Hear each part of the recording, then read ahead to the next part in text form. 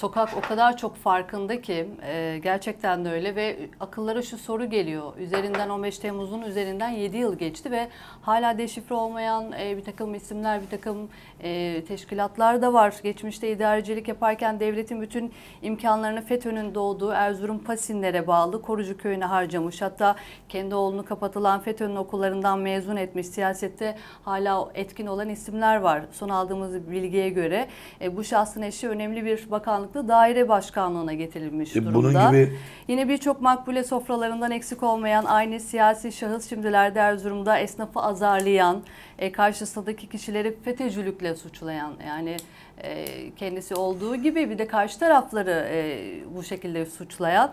Örneğini verdiğim işte geçmişte parti içinde dava arkadaşlığı yaptığı kişileri bile itibarsızlaştıran, FETÖ'cü olmakla suçlayan şahsın ya da yapının arkasındaki o güç arkasındaki güç belli. Bir kere önce bu güç saklanmayı çok iyi biliyor.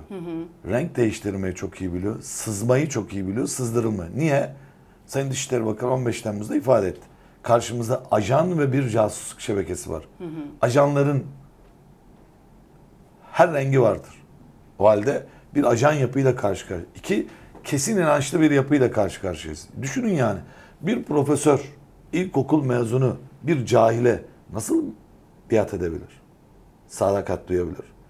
Bir, Türk ordusunun orgenerallik rütbesini taşıyan bir isim veya korgenerallik rütbesini taşıyan bir isim sızmış olduğu için o rütbeler asla ona yakışmaz. Bir isim nasıl Amerika'da kendisini Mesih gören, yarı tanrı gören bir modele nasıl sadakat duyabilir? Bu ancak farklı yöntemlerle o insanların zihinlerinin, beyinlerinin, iradelerinin zombileştirilerek kontrol altına alınmasıyla mı? Çünkü karşımızdaki yapı bir zombi yapıdır. Şimdi bu bahsettiğiniz isim ve isimler gibi. İsim ve Sistem isimler gibi. önemli, Tabii evet. ki milletvekili aday aday oldular bunlar AK Parti. Diğer partilerden milletvekili oldular. AK Parti'den aday aday oldular. Hatta aday aday olmanın ötesinde üzerlerinde çok kuvvetli şüphe olanlar, şehirlerinde çok iyi bilinenler üzülerek ifade ediyorum parlamentoda. Evet. Parlament, kamu yönetiminde korunanlar birer birer tehdit ederek hareket ediyorlar hem de şimdi. Biliyor ki en son kaçak bir tanesi yakalandığında geri döneceğiz. Bu geri dönme, geri dönme ümidini ona veren kim? Geri veren Bekleyin, kim? bekleyin, diyen sabredin kim? diyen. Nasıl bir sabredin diyen? 7 yıldır sabreden, geri döneceğiz, geri döneceğiz diyen kim? O zaman dikkatli ve uyanık olmamız gerekiyor. Ama siyasetin de sokakta hiçbir karşılığı olmayan bu yapıya bu derece hamilik yap hepsi için tabii siyasetin bütünü için söylemiyorum. Bunlar kendilerini biliyorlar. Her şehirdekiler biliyor kendi. Hamilik yapmaktan vazgeçmeleri lazım. Çünkü 251 şehidin kanı var. Anneler ağlıyor 7 yıldır. Ve beraberinde PKK ile bu ülkenin girdiği mücadelede 50 bine yakın bu ülkenin asker, polis, istihbaratçı, korucu, sivil vatandaş şehidimiz var. PKK ile FETÖ aynı hattın taşeronudur. E soruyorum ben o siyasetçilere.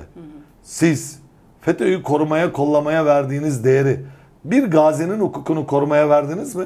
Siz FETÖ'nün elemanlarını dün beraber maklube sofralarında beraber kaşık salladınız. Beraber yemek yediniz. Beraber iş ortaklığını yaptığınız bu ihanet örgütünün elemanlarını, unsurlarını korumaya ve kollamaya verdiğiniz değeri acaba bir şehidin ailesine verdiniz mi? Derdiniz özel harekatçı mi? bir şehidimizin 54 tane özel harekat daire başkanlığında kemikleri dahi bulunamayan o şehit evlatlarımızın ailelerine verdin mi? Veremezler. Nasip olmaz onlara. Çünkü işbirlikçiler. İşbirlikçiler. Şunu da unutmayın.